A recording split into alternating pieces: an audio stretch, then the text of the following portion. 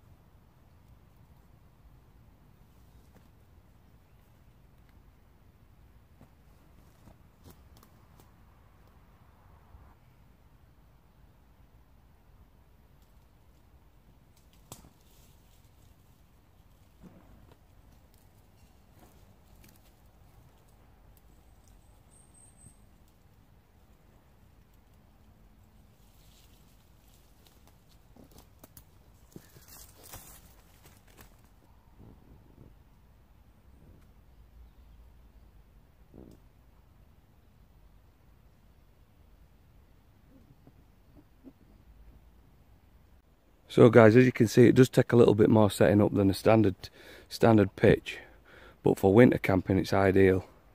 And the beauty of setting it up with the doors is you get this extra tie out point here. And I'll just show you what that looks like inside.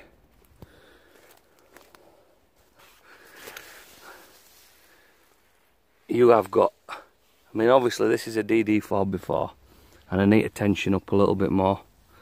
But you have got a ton of room inside a ton of room and the fact that you're bringing your tarp right down to the floor and gives you a hell of a lot of shelter. Now, I just pan back. See, I've left these these front bits open at the minute just for Finn to get in and out. But um, you get the general idea. See, tie out of this side. It's all going to be really stable. We could probably tension it up a little bit more now. But you get the general idea. So, that's my take on a DD type with doors. See what you think. Go out, give it a go. Obviously, it takes a bit of getting used to, it takes a bit of tweaking. Uh, you probably need one, two, three, four, five. You probably need eight pegs rather than the usual four. Um, and a couple of extra tie outs. Because your tarp's running right down to the ground, you don't need the tie outs, uh, the tie out lines for the for the tarp itself, just for the pull outs at the side to give you that extra space inside. Um, I hope some of you find that useful. Uh, useful. I hope I hope some of you uh, go out and give it a go and let me know what you think. Look after yourselves. Uh, stay warm. Look after each other. Uncle Beard out.